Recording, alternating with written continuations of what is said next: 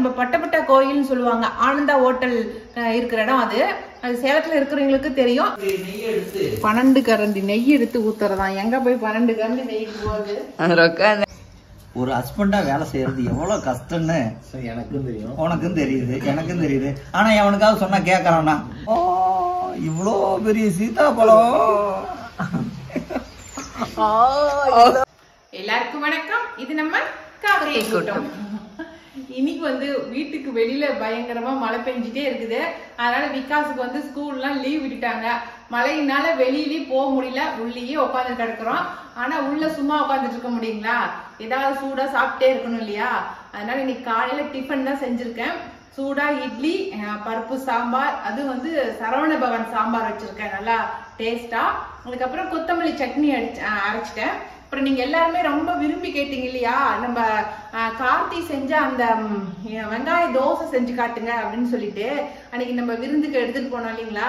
அந்த தோசை தான் சுடலாம் அப்படின்ட்டு அது ரெடி பண்ணும் போதே எனக்கு உங்க ஞாபகம் தான் வந்துச்சு. சரி அது உங்களுக்கும் செஞ்சு காட்டலாம் அப்படின்ட்டு வாங்க இப்ப அந்த தோசை வெங்காய தோசை எப்படி செய்யறாங்க அப்படிங்கறத பாத்திரலாம்.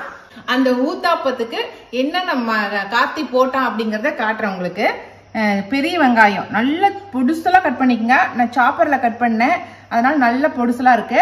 அப்புறம் கேரட் கேரட் வந்து சீவிக்கணும். நம்ம கேரட் சீவறதுல திருகிக்கிட்டேன்.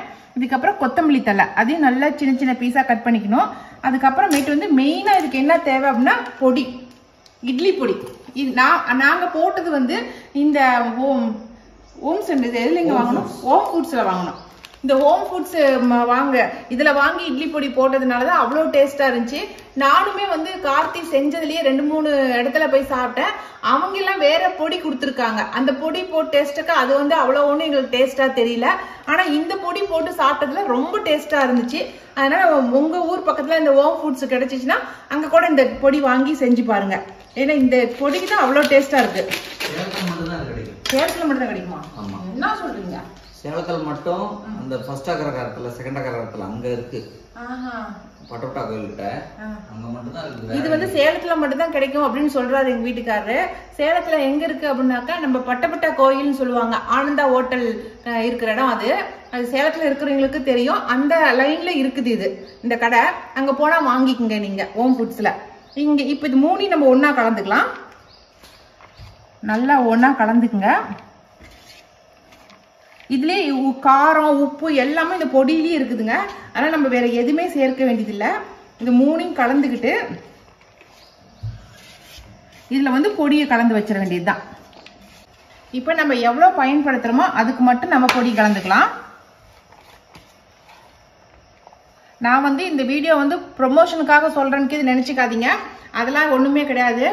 இது வந்து நான் பயன்படுத்தினேன். எனக்கு இந்த டேஸ்ட் ரொம்ப நல்லா இருந்துச்சு. அதுக்காக சொல்கிறேன் நான்.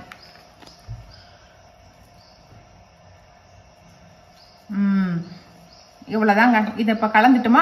இப்போ நம்ம தோசையில் இது மேலே ஊத்தாப்பத்தில் போட்டுக்கலாம். இப்போ இது ரெடி ஆயிருச்சு. வாங்க நம்ம போய் தோசை சுடலாம். ஊத்தா ஊத்தாப்பம் சுடலாம்.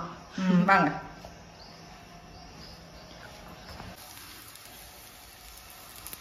மெல்லிசா தோசை விடாம மொத்தமா மொத்தமா தோசை தோசை மொத்தமா போட்டாச்சு. இப்போ இதுக்கு மேல வந்து அப்படியே வடிவேல் சார் சொல்வாருல்ல அது மாதிரி மலைச்சாரலாட்ட வெங்காயமும் இதையும் போட்டு விடலாம் கேரட்டையும். அவ்வளவுதான். கொரியாண்டர். பன்னெண்டு கரண்டி நெய் எடுத்து. ஊத்துறதான். எங்க போய் பன்னெண்டு கரண்டி நெய் போகுது ரொக்க எங்க பின்னாடி அறுத்துட்டு இருக்காரு இது கூட வந்து ஒரு நாலு சுத்து. அப்படியே உள்ள ஒரு நாலு சுத்து. கம்முனுக்குறாங்க பாரு. அப்புறம்? இப்ப நாம வந்து நான் சும்மா தான் அப்படி கார்த்தி போட்ட மாதிரி தான் போட்டிருக்கேன். நம்ம தேவைப்பட்டா இதுல வந்து கொஞ்சமா சீரகம் கூட சேர்த்திக்கலாம். ஏங்க சீரகம் கொஞ்சம் சேர்த்திக்கிறேன். ஆ. ஊத்தாப்பம்னாவே சீரகம் மட்டும் தான் நம்புறேன். ஆ, சீ- ஊத்தாப்பம்னாவே சீரகம் போட்டா கொஞ்சம் நல்லா இருக்கும். அதனால நாங்க வந்து சீரகம் சேர்த்திக்கிட்டேன் நான் எக்ஸ்ட்ரா ஆனா கார்த்தி செய்யும் போது சீரகம்லாம் அவன் போடவே இல்லை. இந்த மாதிரி தான் போட்டிருந்தான். அது மாதிரி ஒண்ணு செஞ்சுட்டேன். போதுண்டா சும்மா சும்மா போதுண்டா. பேசாம இருடா. அவ்வளவுதான். ஊத்தாப்பத்தை நம்ம திருப்பி போட்டுடலாம். ஆனா ஊத்தாப்பம் செய்யும் போது கொஞ்சமா நெய் விட்டு செஞ்சீங்கன்னா தான் அவ்வளோ டேஸ்டா இருக்கும். அந்த நெய் டேஸ்ட்டுக்கு இந்த மசாலா டேஸ்ட். அந்த பொடி போட்டிருக்கிறோம் இல்லையா? பொடி வந்து நெய்யில கலக்கி சாப்பிடும் போது தான் ரொம்ப டேஸ்டா இருக்கும். அதுக்காக தான் வந்து ஊத்தாப்பத்துக்கு கொஞ்சம் நெய் போடுறது. ஓகே சூப்பரான ஊத்தாப்பம் ரெடி இப்ப அடுத்த தோசை ரெடி பண்ணிட்டு வந்துடுறேன். இருங்க இதை ஊத்தி வச்சுட்டு வந்துடுறேன். அதுக்குள்ள மதியத்துக்கு என்ன செய்யறதுங்கறத இப்பயே வந்து ராவடி பண்றாரு. நான் அதெல்லாம் சொல்ல. வடிவேலு இப்படி அப்படியே அப்படி இப்படி திருப்பி ஒரு நாலு தப்பா இப்படி ஒரு நாலு தப்பா திருப்பி போட சொன்னார. நீ ஒரே தப்பாவோட போட்டுட்டு எடுத்துட்டா நாலு ட்ரிப் திருப்பி போட்டாங்க. ம். தா இங்க பாருங்க நெய் ஊத்திக்கலாம் கொஞ்சமா. ம் நெய்யே வர மாட்டேங்குது பயமா இருக்குது நெய் கொஞ்சம் ஜாஸ்தியா வருது. எப்படி? என்ன இவ்வளவு நெய் ஊத்திருக்கீங்க? அவ்வளவு நல்லா இருக்கும் அப்படியே நெய் முருகலோட சாப்பிட்டா தான் ஆப்பம்லாம் நல்லா இருக்கும் ஊத்தாப்பம். ஓகே வா வா வா. ஏங்க இந்தாங்க தோசை ரெடி. இட்லி.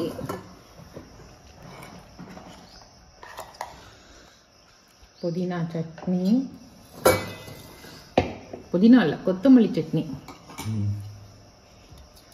இதுக்கப்புறம் பருப்பு சாம்பார்.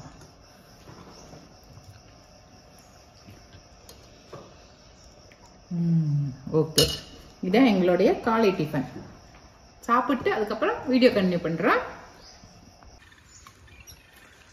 நம்ம க்ரீன் கலர் வாட்டர் ஆப்பிள் பாருங்க எவ்வளோ மொக்கு வச்சிருக்கு அப்படின்னு. எல்லாம் பூ பூக்க போகுது இப்போ. சரியான மொக்கு வச்சிருக்கு. செடி ஃபுல்லாக அப்படியே வெறும் கா பூவாக இருக்கு போகுது. இது சின்னதாக மொட்டாட்டம் வச்சுருக்கு. இதுக்கப்புறம் அப்படியே மேலே பாருங்க பூ இருக்குது பாருங்க. இது மாதிரி பூவாட்டம் வெடிக்கும். அதுக்கப்புறம் காய் வைக்கும். சூப்பர். இப்போ பூ பூக்கிற ஸ்டேஜ் போல் இருக்குது மரம் ஃபுல்லாக பூவாக இருக்குது இப்போ நம்ம வந்து வேறு ஒரு செடியை போய் பார்க்க போகலாம் அது இப்போ தான் ஃபஸ்ட் டைம் காய் காய்ச்சிருக்கு. அந்த காய் எப்படி இருக்குன்னு சொல்லி போய் பார்த்துடலாம் நான் சொன்ன மரம் இதுதாங்க. இது வந்து முள் சீத்தா இந்த மரம். இது மரத்துல வந்து இப்போ வந்து நிறைய பூ வச்சிருக்கு காய் வச்சிருக்கு பாருங்க. குட்டி குட்டியா பாருங்க இந்த பூ இருக்கு இல்லைங்க? இதுதான் பூவா? பாருங்க அங்க ஒண்ணு இங்க ஒண்ணு. நிறைய மரம் ஃபுல்லாவே நிறைய மொக்கு வச்சிருக்குது இப்ப. நிறைய காயே வச்சிருக்குது இப்ப.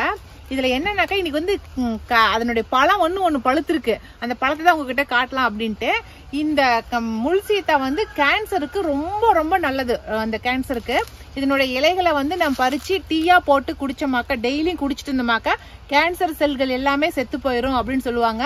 கிராமத்து சைடு வீட்டுக்கு ஒரு மரம் அப்- அந்த காலத்துல வளர்த்திட்டு இருந்தாங்க.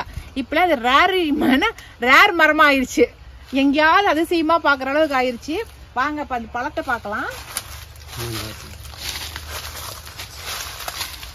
அது எவ்வளவு பெரிய பழம் பார்த்தீங்களா தொடும் போதே ஒரு சாஃப்ட்னஸா இருக்குதுங்க. பறிச்சிட்டுமா? பறிக்கவே மனசு வர மாட்டேங்குது மில்ட்ரி பறி மில்ட்ரி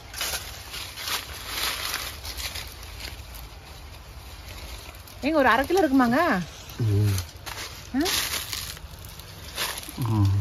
அரை கிலோ இருக்குமாங்க? நல்லாவே பழுத்துருச்சு. நான் கடைகள்ல வந்து இதுல இதுல பாதி பழம் பார்த்துருக்கிறேன். இவ்வளவு பெரிய பழமா பார்த்தது கிடையாது. ஏங்க? நான் நானே இந்த மரத்துல முதல் டைம் வந்து இவ்வளோ பெரிய பழத்தை நானே ஃபர்ஸ்ட் டைம் பறிக்கிறேன். எனக்கு ரொம்ப சந்தோஷமா இருக்குது எனக்கு.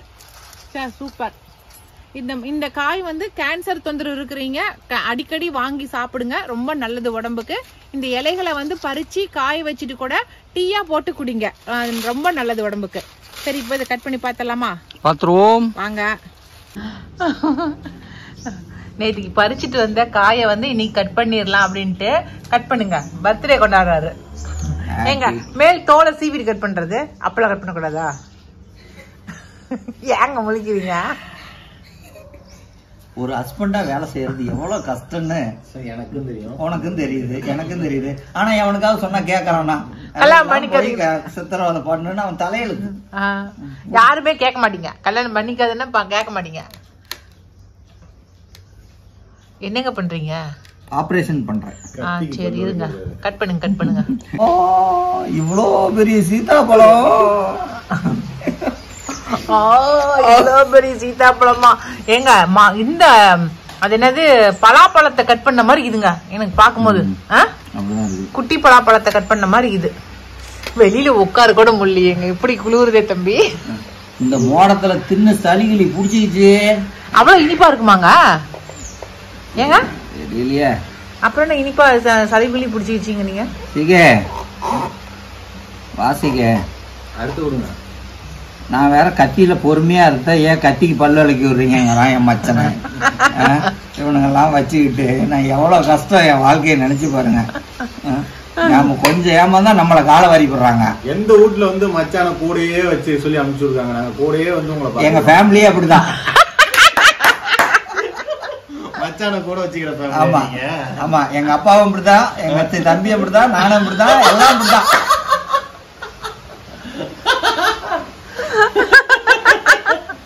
நாங்க நாங்கெல்லாம் கல்யாணம் பண்ணிக்கிட்டு அவங்க வீட்டுக்கு மருமூனா போனா மருமூனா ஆகுறதுல மவனா இருந்துக்கிறது. அதனால பார்க்க மட்டும் பார்த்துட்டு சரி எல்லாத்தையும் அரவணைச்சு ஒரே ஃபேமிலியா வாங்க. அப்படின்னு கூட்டு வந்துருவோம். நல்ல கொள்கையோட இருக்கீங்க.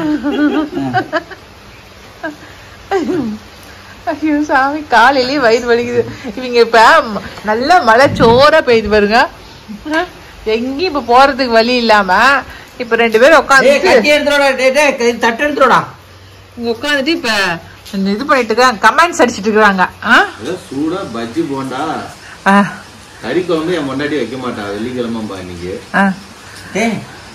ஏன் கவலைப்படுற? அக்கா தான் இருக்குது இல்ல தமிழ் எக்ஸ்பர்ட் நீ எடுத்துட்டு வா. நான் பாத்துக்கலாம். என்ன பண்ணுங்க கறி குழம்பு எடுத்து வந்து சாப்பிட்டு அங்க போ. என்னன்னா காலையில சாப்பிட்டு சப்பாத்தியே சிரிக்கல. ரொம்ப கைட்டமா இருக்குது. அப்படின்னு விடு. கொஞ்சோண்டு ஒரு டம்ளர். ரசம். மட்டும் வச்சு கொடு. இல்ல ரசம் மட்டும் கொஞ்சோண்டு வையின்னு. ரசத்துல கொஞ்சோண்டு சாப்பிட்டு கம்முன்னு படுத்துக்க. ஆமா உண்மையாலுமேங்க இந்த மலைக்கு வந்து நல்லா சுட சுட பிரியாணி சாப்பிட்டுட்டு. அப்படியே? ஏன்டா இந்த உஷாராணி பிரியாணி சாப்பிட்டா எப்படி இருக்கும்?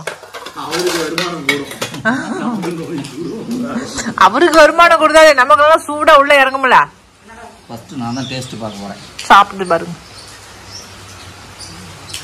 என்னங்க பண்ணுது? புளிக்குதா? அது ஒரு மாதிரி வித்தியாசமா இருக்குடா. புளிப்பும் இனிப்பும் கலந்த மாதிரி. பழம் கெட்டுலாம் போலில? அதெல்லாம் இல்ல அதெல்லாம் இல்லைல்ல கெட்டுறத மட்டும் தெரியுமா அது வேணா சொன்ன மாதிரி புளிப்பு இனிப்பு சேர்ந்து எப்படி இருக்கும்? கண்டிஷன் மீறினாதான் அப்படி மாறும். ஏங்க பழம்லாம் கெட்டுலாம் போல.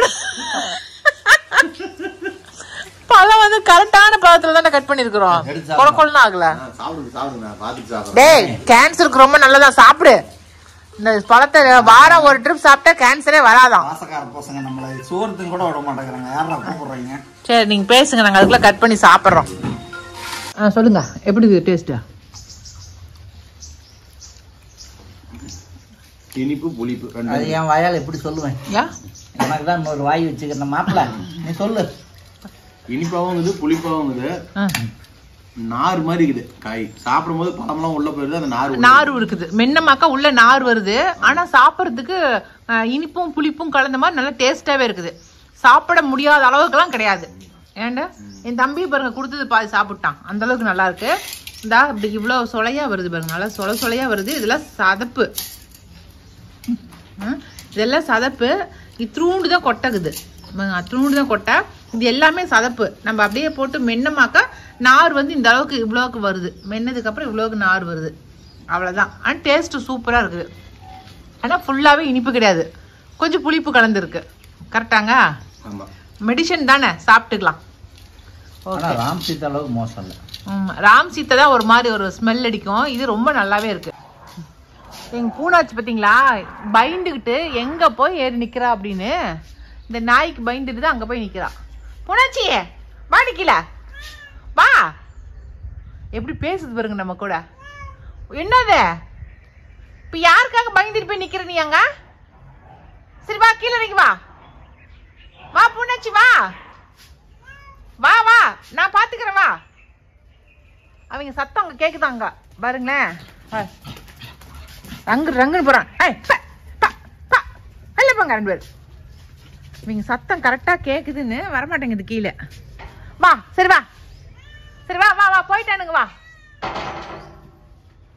சரி வாடா. வாடா. இறங்கி வா எப்படி மேலே ஏறின? இறங்கி வா. இறங்கி வா இறங்கி வா. வா.